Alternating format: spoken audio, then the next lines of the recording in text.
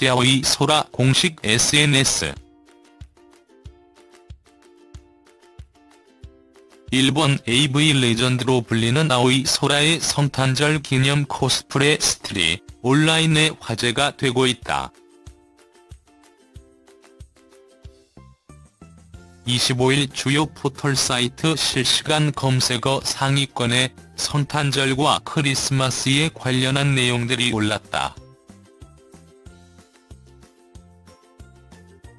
이와 관련해 일본 AV 배우 출신 아오이 소라의 크리스마스 기념 코스프레 사진이 주목을 받고 있다.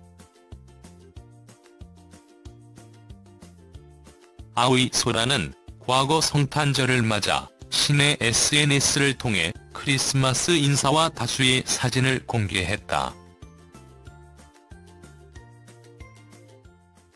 아오이 소라는 일본어, 영어, 중국어, 한국어 등 4개 국어로 메리 크리스마스라는 글을 올렸다. 사진 속 아오이 소라는 산타 의상과 루돌프 의상을 입고 깜찍한 미소와 포즈를 취하고 있다. 아오이 소라의 큐티하면서 섹시한 모습은 산타 의상에서도 그대로 드러난다. 그의 미소는 보는 이들의 마음을 훈훈하게 한다.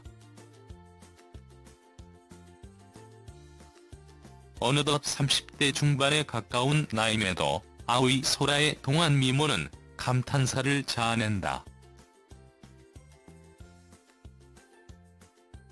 또한 루돌프 뿔을 달고 있는 모습에서는 귀여움이 극대화되고 있다. 한편 아오이 소라는 AV 배우 은퇴 이후 일본, 중국, 동남아에서 활발한 활동을 펼치고 있다. 데일리안 박창진 기자 C. 주식회사 데일리안 무단전재, 변형, 무단 배포 금지